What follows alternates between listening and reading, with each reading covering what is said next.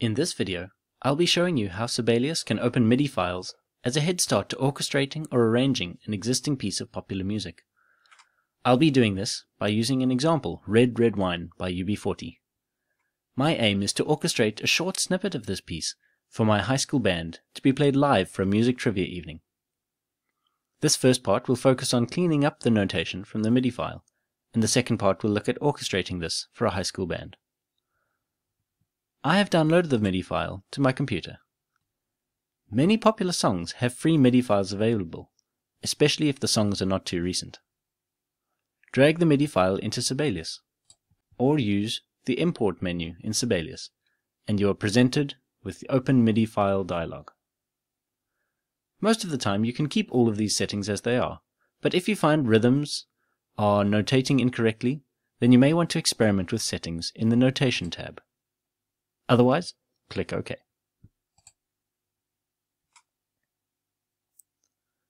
Sibelius now presents us with its best effort to notate the MIDI file.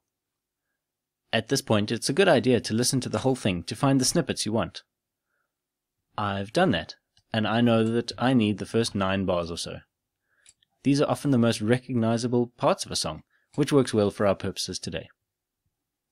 Thanks to Matt Armstrong for this MIDI file. I'll add an empty bar with Control, Shift, and B after bar 9 so that I still have the later material in case I need it, but that it's obvious when I'm playing it that that's where I need to stop working. The rest of the score looks pretty daunting, and certainly no one would want to play this as it is. With odd rests, rhythms, and accidentals everywhere. This is going to take some cleaning up. Before I go too much further, I'll save this as a Sibelius file. This is so that I can keep a backup of my work that I do to this file.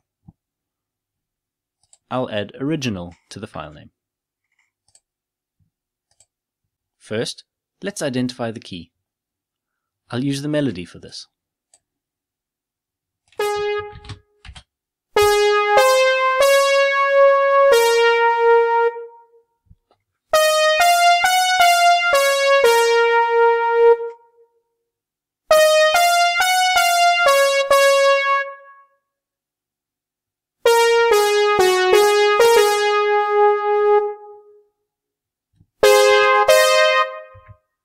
This is clearly in a major key, but there are sharps and flats, which are getting in the way of finding the key signature.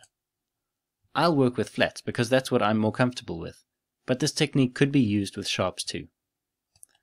Work your way through the melody and every time you see a sharp, select it and press enter on the keyboard, not on the numpad. That will change the note to its enharmonic equivalent. So G sharp becomes A flat, and so on.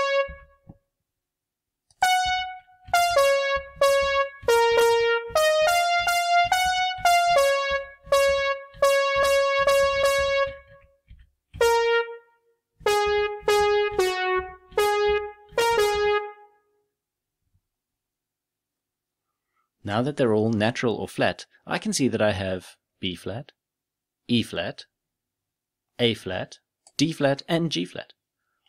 D flat major would be a good fit here. So I'll add that key signature at the beginning of the score with K.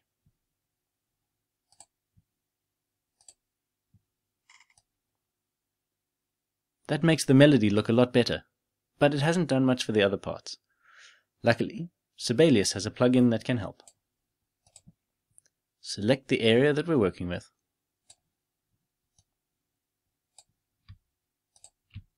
Then go to the Note Input tab, Plugins, and Simplify Accidentals.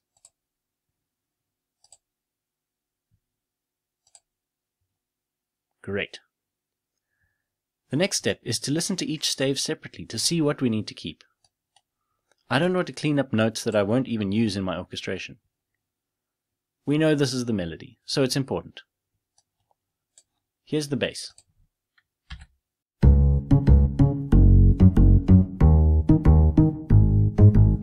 Also pretty important. And the drum kit. Definitely.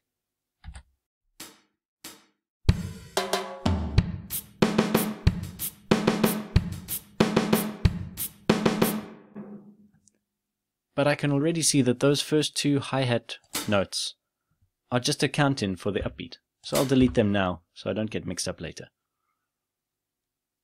At this point, it's often useful to go to the Play tab and switch off live playback, which changes some playback qualities. With it off, we'll hear exactly what is written and not any extra MIDI information, since that's what our musicians will be doing too. Here are the chords, the skank.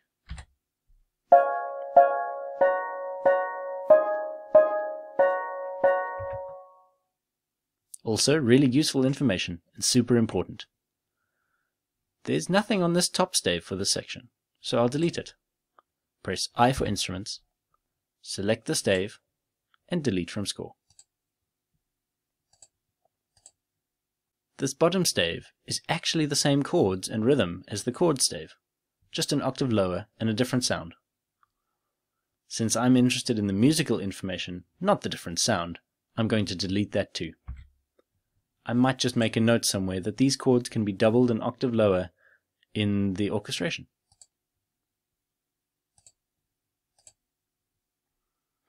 MIDI files often have many extra staves, and now I only need to work with four. So, let's start with the chords. Those rests are just painful to look at, since I can hear that it's made up of offbeats.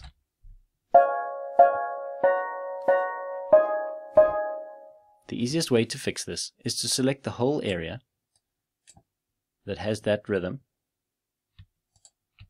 and then press 3 on the numpad for quaver. Don't forget to keep saving with Ctrl S. Of course, the shorter note value is still important, but the musical way to write that would be staccato. Star on the numpad. Now for the bass part.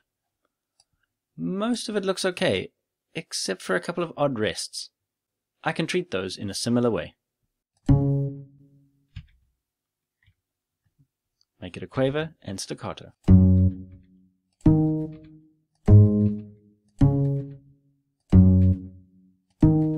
For stylistic purposes, I'm doing the same for each of these octave jumps, but I won't do it there.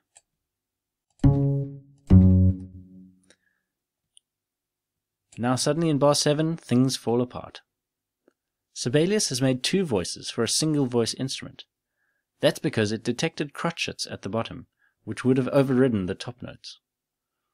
The quickest fix for this is to adjust the long notes to the proper length.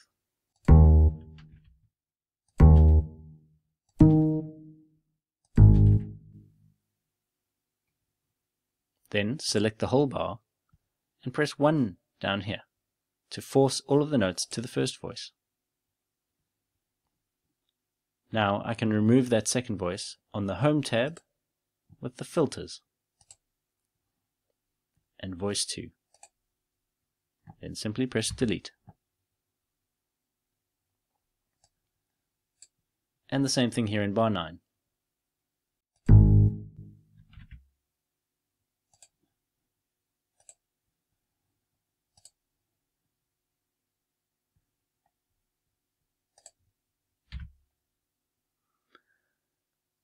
For the melody.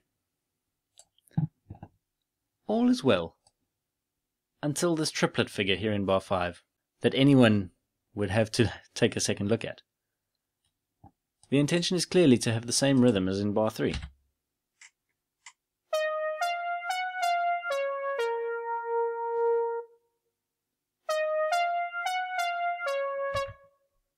In fact, it's the same notes too, so I'll copy and paste select bar 3, Control C, select where I want it to go, and Control V.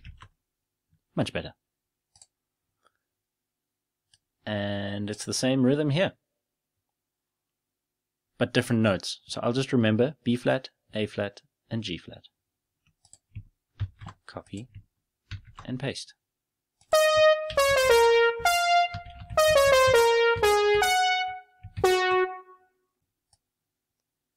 These two beats here are the upbeat to the next phrase, so I don't need them.